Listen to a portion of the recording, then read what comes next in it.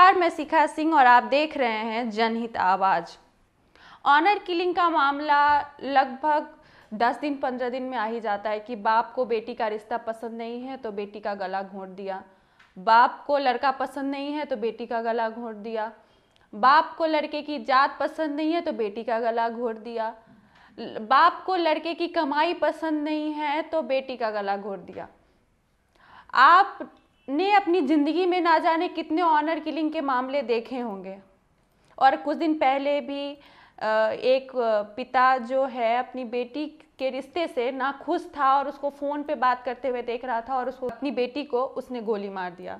उससे पहले भी एक पिता अपनी बेटी को काट के सूटकेस में हाईवे पे छोड़ के चला गया था। ऐसे अनगिनत मामले आप रोज़ाना सुनते होंगे, लेकिन एक ऐसा मामला है जो बिहार से आया है, जो धर्म को और जाति को एक नया आयाम दे रहा है। एक हार की एक खबर है जिसे न्यूज़ 24 ने छापा है। उसने लिखा है कि मुस्लिम लड़की को हिंदू लड़के से हुआ प्यार झुक गया पूरा गाँव। सिर्फ़ माँ बाप नहीं, परिवार नहीं, समाज नहीं, पूरा गाँव झुक गया उसको शादी कराने के लिए। तो आप सोच सकते हैं, आप परिकल्पना कीजिए, अगर ऐसा ही हर रिश्ते में हर बाप अपनी बेटी को समझे, हर बाप, हर परिवार अपने बच्चों को समझे कि नहीं, अगर ये प्रेम करते हैं तो इनकी शादी ये जहाँ पे खुश हैं। हाँ हालाँकि कभी कभी बच्चे गलत भी होते हैं तो माँ बाप का काम है उसको सही रास्ता दिखाना, ना कि ऑनर किलिंग करना, मार देना। माँ बाप ऐसे होते, बहुत परिवार ऐसा होता है जो लड़कियों के सर पे पूरे इज़्ज़त की गठरी डाल देता है। लड़के चाहे कुछ भी करे, उससे कोई मतलब नहीं होता है। लेकिन लड़की ने अगर अपनी पसंद से किसी को चुन लिया, अगर किसी को पसंद कर लिया तो उसके परिवार को पसंद नहीं आया तो अपना जान गवाएगी।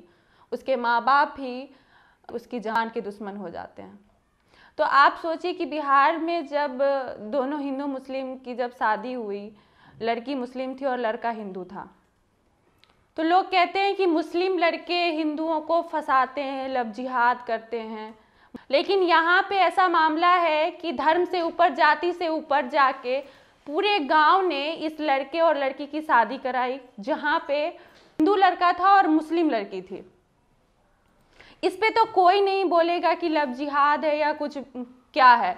लेकिन आपको एक और खबर मैं बताती हूँ, आज से कुछ दिन पहले स्वरा भास्कर की शादी हुई थी।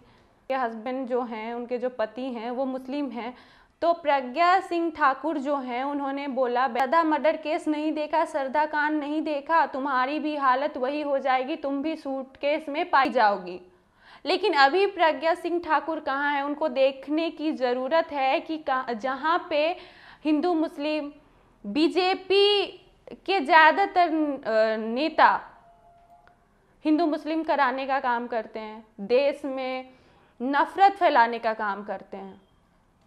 लेकिन यहीं एक और बिहार से ये प्यारा सा जोड़ा जिन्होंने शादी किया है, जाति से ऊपर जाके, धर्म से ऊपर जाके तो आप लोग इस वीडियो पे क्या कहेंगे? आप लोग इनसे खुश हैं या ना खुश हैं? गाँव वालों ने अच्छा किया, बुरा किया, गाँव वालों को भी हिंदू मुस्लिम करना चाहिए था।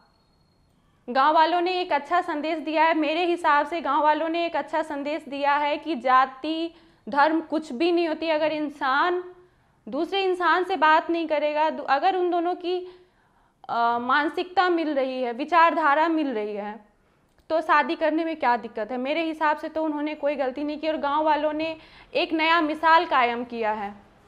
तो इस पूरे वीडियो पे आपकी क्या राय है? कमेंट बॉक्स में ज़रूर बताइए। मिलते हैं अगली खबर के साथ। तब तक के लिए धन्यवाद।